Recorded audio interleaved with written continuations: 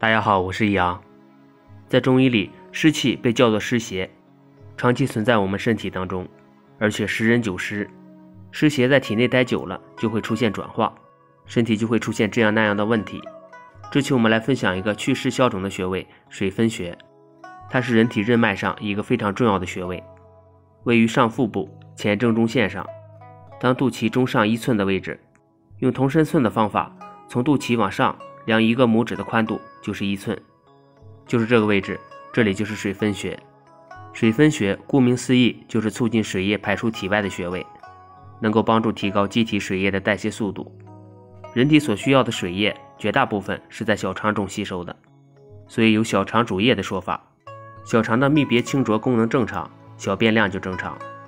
如果小便量过小，大量的水分在体内积聚。就会造成身体部位的水肿。经常刺激水分穴，可以通调水道，利水化湿，理气止痛。刺激这个穴位，我们可以用食指和中指的指腹以画圆的方式按压，以出现酸胀感就可以。每次三到五分钟。按揉这个穴位不分为正时针或者逆时针，一只手按累了再换另一只手。除了按揉，用大拇指点按也可以。有人也许会问，体内的湿气是怎么形成的呢？湿气形成的原因有很多，主要是外界气候的湿气，或者是由于体内脾胃功能减退导致的湿气内存。自然界的湿具有一定的粘性特点，比如糖受潮了就变得很黏，如果踩在潮湿的土壤上就会粘鞋底儿。爆米花放的时间长了也会不酥，吃起来会很粘牙。